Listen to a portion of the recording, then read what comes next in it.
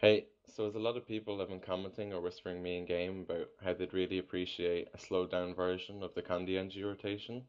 I thought the best way to explain some of the, well, the most important parts of the rotation would be to commentate myself as the rotation proceeds. So I'm going to try point out some of the major things in the rotation and explain as well some of my thought processes for kit timings or other stuff like that.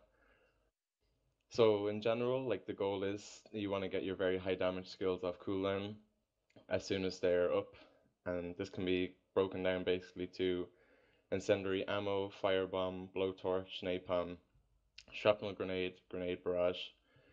Uh, the rest of the rotation will basically fill in the gaps with other high damage skills, but the way I do it is so that you'll try prioritize the really important ones that we've already mentioned the key to having like really good DPS on Engi is mainly just to get these important cooldowns used and avoid swapping kits for like one low damage skill.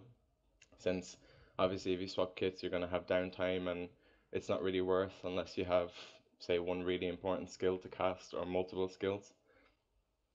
So at the very beginning you can see a precast firebomb and Big Ol' Bomb and while pressing incendiary ammo as well. And then I quickly swap to mortar kit to trigger the gunk from streamlined kits since I'm on mortar anyway, I just do a quickly poison shell, and then I instantly swap back to flamethrower, cast napalm. Uh, in the opening rotation, I don't use air blast because there's other high cooldown skills you want to use. Uh, after flamethrower, I swap instantly to pistols and chain blowtorch to pistols 3 and 2. The really important thing to notice here is to use like pistol 3 and 2 as soon as you use blowtorch since some people will try only swap for blowtorch itself, but it's not worth. Um, while casting pistol 2 then I can switch back to grenades and use shrapnel and rotate through other grenade skills that are up. So at this point you'll notice every skill has been used at least once in the rotation, so now we need to figure out how to loop it somehow. The cooldowns obviously aren't going to be all the same as our opening burst, so some things are going to be different. So after some grenade autos, I know that firebomb will be ready. You can chain this with your concussion bomb and then swap back to grenades. You can use shrapnel grenade and then one or two auto attacks. Pistols will be ready again, so you can swap, use blowtorch, chain pistol 2 and 3, and then back to grenades. So after some grenade autos, you'll know that firebomb will be ready again, and this also coincides with Big Ol' Bomb cooldown. So a way to track this is you can cast Firebomb when you see Big Ol' Bomb at around 2 to 3 seconds cooldown and then chain those two together. Uh, when I'm done with Firebomb the second time, I go back to Grenades and wait for Streamline kits to come up soon. I know it's going to be up soon since I can track it through Grenade Barrage, and this basically works every time when your Grenade Barrage is ready or slightly after it's you've used it, your streamline kits will be ready again, so you'll know you'll be ready to swap to mortar kit. Uh, once I proc the gunk again, I go back to pistols and chain 432 once again.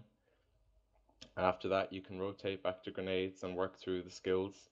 Your napalm will be ready again after this, since you can see the incendiary ammo cooldown is going to be around 12 to 14 seconds. Next time will be around 25 seconds. This is obviously after you've used ammo a second time and then after that again it will be on 35 seconds and that's obviously after using it the third time. This time I use air blast because you've used like most of your other high cooldowns so it's fine just to use it quickly. Uh, after this you can move back to grenades again and then you can use freeze or shrapnel or whatever grenades you have ready. Since you've used two shrapnel grenades you'll know that firebomb will be ready so you can swap to that, use it. And since you've just finished a grenade and bomb rotation, you'll know that your pistol skills must be really close to being off cooldown. One thing to say, if you're like unsure whether they're ready, then you're better off auto attacking once or twice, since if you swap and they're not ready and you're stuck waiting on cooldowns, that's a way bigger loss. After pistol skills, we reach a repeat because we're going back to grenades, and we see the Big Ol' Bomb is almost ready again, and firebomb is also ready. This is like before when I mentioned when Big Bomb is around 2 to 3 seconds, Fire Bomb will be ready. You can also chain these with uh, Poison Shell from Mortar every time. After this, you can see Grenade Barrage is almost ready again, so as I said before, Streamline Kits will also be ready quite soon. After you drop the gunk from the mortar, you'll know the pistols will be up again and you can chain blowtorch and your other two skills. Nade and bomb cooldowns will be ready again as you've just done pistols, so you can use grenades and then use bomb skills. You can see then that incendiary ammo will be around 24 seconds, so you'll know it's time to go flamethrower, napalm and air blast again. After another shrapnel grenade and maybe a few grenade auto attacks just to be sure, you can rotate back to pistols, change your skills again. So here you can actually start to see a loop forming because we're back to grenades and we have Big Ol' Bomb plus Fire Bomb cooldowns coinciding for the third time. So as before, Grenade Barrage and Gunk will also be ready and after that, after a couple of grenade auto attacks, you will also know that pistols are ready again. So once you're rotating back to nades and bombs, you use those skills. You'll notice incendiary ammo is quite close to 35 seconds cooldown, which is your third napalm. It's really important that we can manage its cooldown to make sure that we can cast it off cooldown or as close as we can get at least. So flamethrower, napalm, air blast again.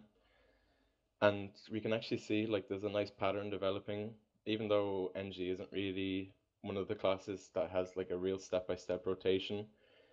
It the rotation does kind of form if you make a priority of skills and then work in other fillers around it. You will get a rotation that repeats, and once you're able to track cooldowns in your head, the rotation will you will see like a real pattern forming.